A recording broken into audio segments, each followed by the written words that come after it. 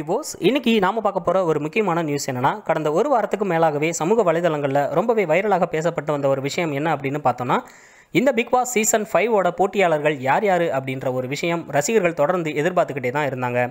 அது மட்டும் இல்லாமல் இந்த சீசன் ஃபைவோட ப்ரோமோ ஏற்கனவே வெளியாகி ரசிகர்கள் மத்தியில் ரொம்ப பெரிய வரவேற்பை பெற்றுச்சு. இந்த சீசன் ஃபைவ் எப்படி இருக்க போகுது அப்படின்னு சொல்லி ரசிகர்கள் எல்லாருமே எதிர்பார்த்துக்கிட்டு இருந்தாங்க. அவங்களுடைய எதிர்பார்ப்புகள் அனைத்தையும் பூர்த்தி செய்கிற விதமாக இந்த சீசன் ஃபைவ் ஆனது ரொம்பவே பிரம்மாண்டமாக நேற்றைய தினம் கொண்டாடப்பட்டுச்சு. அது மட்டும் இல்லைங்க துவக்க விழாவான நேற்று உலகநாயகன் கமலஹாசன் அவர்கள் பதினெட்டு போட்டியாளர்களை அறிமுகப்படுத்தினாங்க. இந்த முறை போட்டியாளர்கள் எல்லாமே மக்களுக்கு முகம் தெரியாதவர்களாகவும் ஒருவருக்கொருவர் முகம் தெரியாதவர்களாகவுமே இந்த வாட்டி தேர்ந்தெடுக்கப்பட்டிருக்காங்க. விஜய் டிவி இந்த முறை போட்டியாளர்களை தேர்ந்தெடுக்கிறதுல தனி கவனம் எடுத்து தான் தேர்ந்தெடுத்திருக்காங்க.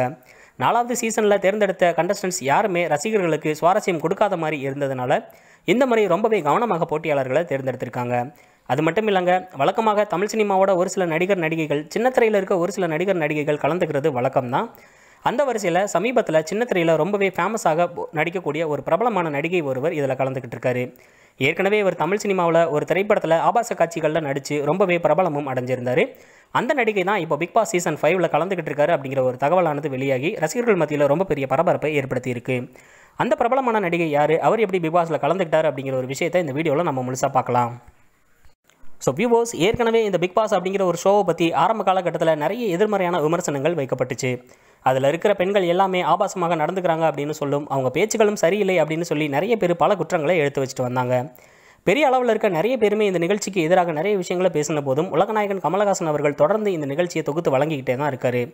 வாரத்துக்கு இறுதியில் பார்த்தோம் அப்படின்னா இரண்டு நாட்கள் இவர் திரையில் தோன்றுவார். அந்த இரண்டு நாட்களுமே இவருடைய பேச்சை கேட்கறதுக்காகவே நிறைய பேர் இந்த பிக் பாஸ் அப்படிங்கிற ஒரு ஷோவை பார்க்குறாங்க.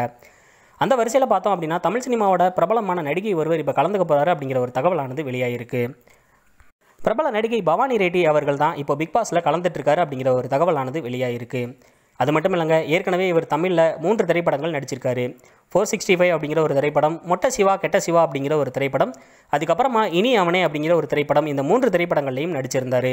இதை தாண்டி நிறைய தமிழ் சீரியல்கள்லையும் நடிச்சிருக்காரு. விஜய் டிவியில் ஒளிபரப்பான ரெட்டைவால் குருவி அப்படிங்கிற ஒரு சீரியல் அதுக்கப்புறமா ஒளிபரப்பான சின்ன தம்பி அப்படிங்கிற ஒரு சீரியலில் முக்கியமான கதாபாத்திரம் பண்ணியிருந்தார்.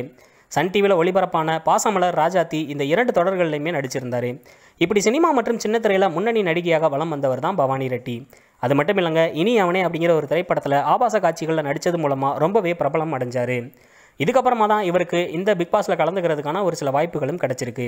அது மட்டும் இல்லைங்க அவருடைய சொந்த வாழ்க்கையில் அவருடைய கணவர் சமீபத்தில் தான் உயிரிழந்து போனார். அது மட்டும் இல்லாமல் திருமணமான ஒரே வருடத்திலேயே அவருடைய கணவர் தூக்கிட்டு தற்கொலை செஞ்சுக்கிட்டாரு அப்படிங்கிற ஒரு தகவலை அவங்க தெரிவிச்சிருக்காங்க. எவ்வளவோ கனவுகளுடனும் ஆசையுடனும் நான் இருந்தேன். சிறு வயதிலிருந்தே ஒரு திருமணம் செஞ்சுக்கணும் கணவருக்கு ஒரு நல்ல ஒரு மனைவியாக இருக்கணும் அப்படிங்கிறது தான் என்னுடைய ஆசையாக இருந்துச்சு. இன்றைக்கி அது எல்லாமே கனவாகி போச்சு அப்படின்னு சொல்லி ரொம்பவே உருக்கத்தோட ஒரு சில விஷயங்களை தெரிவிச்சிருந்தாங்க.